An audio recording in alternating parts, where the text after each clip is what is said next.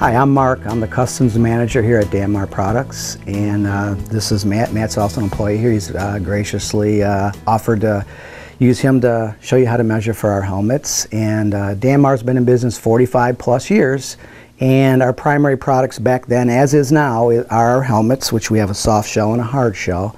And we make various products, all from positioning aids to swimming aids, uh, and all the above. But the main thing we want to concentrate today on is to show you how to properly measure for our helmets. Um, so you know when you do measure, do uh, our measurements fall into a stock helmet, which we can show you a chart uh, so you can use, or do we have to modify it or change it in some way, shape, or form to make it fit properly?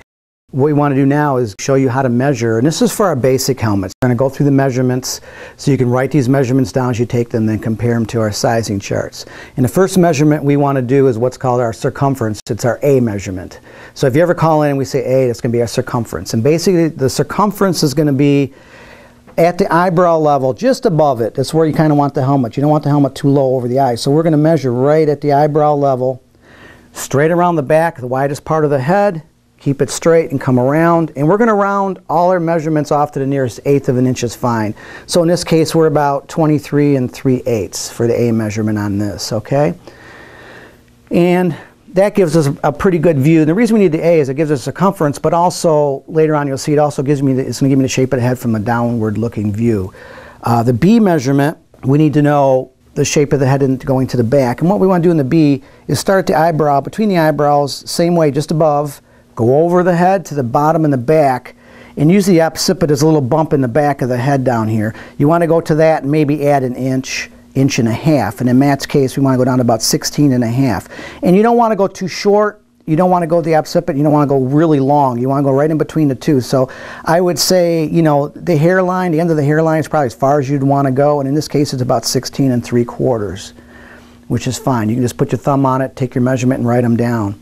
Um, the next measurement we need is going to be C, and C is going to be basically top of ear over the head to the top of the other ear, so we're making an upside down U. In this case, we just want to bring it right to the ear, push the ear in, over to the other ear, and we're about 12 and a half inches there. And you want to pull it a little snug, even if they have a lot of hair, pull it a little snug so we get a good measurement, because if you don't pull it snug, you're going to get a loose helmet. It's not going to fit right. So if they have a lot of hair, pull it down as, as snug as you can and in this case uh, we're about 12 and a half. Um, the next measurement we need, and this one is critical, it's a little complicated, but after we explain it, I think this will make it easier for you, is what we call our E measurement. And E is basically going to tell us where are the ears centered on the head, the center of the ears, because we need to have ear cutouts on our helmets. They need to fit. So the way we know that is, again, where A and B started, start C, right between the eyebrows, right between them, come over the top of the head. And now where we had C coming up and intersecting, that's the measurement I want. In this case, it's about seven and a quarter.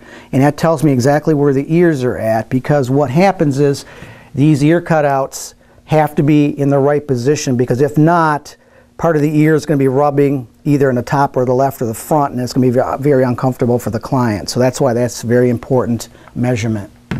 The next measurement we do need, and this helps a lot, is uh, it's a W, which is a width. And sometimes this takes two people to do, but basically the width is going to be two straight edges. I don't care what you use, books or whatever you need, and they're going to go right above the ears, keep them straight, and measure straight across. And what that does, we have A as a measurement, and when you measure across, that is determining, that's telling me the shape of the head. It's a very important measurement. So if it's oblong or if it's round, now at least we know that. My techs know it to make that helmet. The next measurements we need is if you're having a face bar on the helmet, the face bar is important because it's going between the nose, it's protecting the nose and the teeth.